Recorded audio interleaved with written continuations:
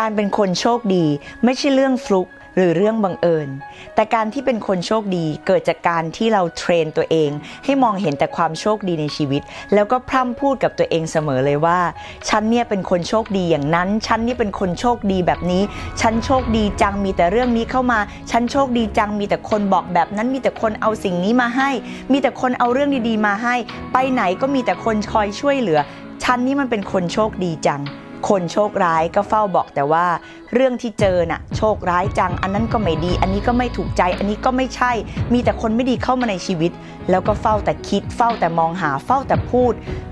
เห็นแต่เรื่องที่ไม่ดีเกิดขึ้นเสมอ ก็เลยบอกว่าตัวเองไม่ใช่คนโชคดี แล้วก็พูดว่าตัวเองเป็นคนโชคร้าย ส่วนคนโชคดี เจอเรื่องร้ายก็ทำให้กลายเป็นเรื่องดีซะอย่างนั้น เจอเรื่องอะไรที่ไม่ถูกใจ ก็เอาด้านดีเข้ารับมือ ก็เอาใจดีๆ เข้ารับมือ ก็เอาใจดีๆ เข้าจัดการ เรื่องที่มันดูร้ายๆ ก็เลยกลับกลายเป็นเรื่องที่ดีๆ แล้วก็เลยมีแต่เรื่องดีๆ เข้ามา แล้วก็ยิ่ง confirm ตัวเองไปอีกว่าเรานี่มันช่างโชคดีเหลือเกิน ครูไม่ได้พูดเล่นนะคะ เรื่องของการเป็นแม่เหล็กดึงดูดความโชคดี หรือการที่คุณอยากเป็นคนโชคดี เป็นเรื่องที่เราสร้างได้ เป็นเรื่องที่เราฝึกได้ค่ะ เริ่มต้นจากการที่หาให้เจอ มองให้เห็นว่าในชีวิตของเราเนี่ยมีอะไรดีๆ เข้ามาบ้างเมื่อเช้านี้นะคะ ครูรุ้งไปที่สถานที่แห่งหนึ่ง แล้วเราเนี่ยขึ้นลิฟต์ไม่ทัน รอบแรกลิฟต์ เต็มคนแน่นไปหมดเลย พอครุ้งก้าวขาเข้าไป เสียงลิฟต์ก็ดังอือน้ำหนักเกินค่ะ ครุ้งไม่สามารถขึ้นลิฟต์โดยสารรอบนั้นได้ครูรุ้งก็ถอยหลังออกมาเออมีคนในลิฟต์นะคะเขาก็พูดว่าอ๋อเสียดายจังออไม่เป็นไรนะรอบหน้าอะไรอย่างเงี้ยครูรุ้งก็บอกเออไม่เป็นไรรอบหน้า โชคดีจัง เราไม่ต้องเข้าไปยืนเบียดเสียดเต็มแน่นลิฟต์แบบเขา แล้วมันก็โชคดีจริงๆนะคะ พอลิฟต์มารอบหน้า ก็มีคนรอลิฟต์อยู่แค่ไม่กี่คน แล้วครูลุงก็สามารถก้าวขาเข้าไปในลิฟต์แล้วก็ยืนแบบสบายๆหลวมๆเนี่ยบางทีอะเรื่องเล็ก ๆ น้อย ๆ แค่นี้ในชีวิตของเราอะแต่เรายังมองเลยว่าขึ้นลิฟต์ไม่ทันน้ำหนักเต็มโชคดีจัง ไม่ต้องไปยืนเบียดเสียดกับเขา เรื่องแบบนี้คือการฝึกนะคะ แต่ถ้าเป็นครูรุ้งสมัยก่อน หรือเป็นครูรุ้งเมื่อก่อน ถ้าเกิดว่าครูก้าวขาเข้าไปลิฟต์โอ้คนเต็มพอดี ครูก็จะรู้สึกหงุดหงิดใจ แล้วรู้สึกว่าทำไมมันจะต้องมาลิฟต์เต็มตอนที่ฉันก้าวขาเข้าไปพอดีนะ เนี่ยค่ะ เมื่อก่อน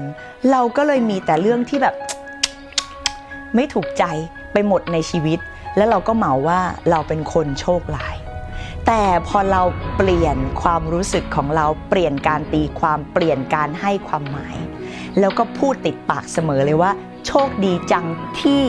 โชคดีจังเลยที่ได้คือพูดแบบนี้บ่อยๆนะคะ แล้วเราก็รู้สึกว่าเราอะเป็นคนโชคดี และทุกๆสถานการณ์สำหรับเราที่เกิดขึ้น มันดีเยี่ยมสำหรับเราเสมอ และเราคือคนที่โชคดี ในวันที่มีเรื่องอะไรเกิดขึ้นที่เรารู้สึกว่า อุ๊ย ไม่ชอบใจเราเลยอะแต่เราเทรนตัวเองเสมอว่าเราคือคนโชคดี เวลาที่เรื่องนั้นเกิดขึ้น เราเลยมองหาว่า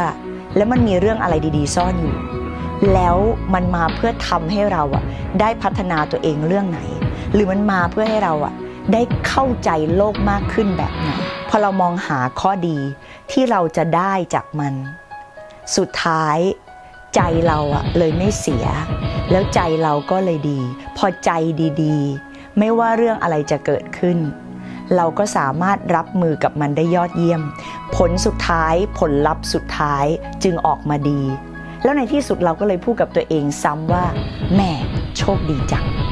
เห็นไหมคะ มันก็วนลูปชีวิตอยู่แบบนี้ ส่วนคนที่บอกว่าตัวเองโชคร้ายเสมอบ่นกล่นด่าเสมอ เราก็จะเห็นว่ามันก็จะเป็นลูปวนของความโชคร้ายอยู่แบบนี้ เพราะฉะนั้นโชคดีโชคร้าย ไม่ได้เป็นเรื่องของโชคดวงฟุกวาสนาแต่เป็นเรื่องที่เราต่างหากเป็นคนตั้งใจที่จะมองเห็น แล้วเราตั้งใจที่จะบอกตัวเองว่า ฉันคือคนโชคดีในทุกๆสถานการณ์ ขอให้วันนี้เป็นวันที่ดีที่สุดยอดเยี่ยมที่สุดสำหรับคุณ และขอให้มีแต่เรื่องดีๆ มีแต่โชคดีๆ เข้ามาหาคุณนะคะ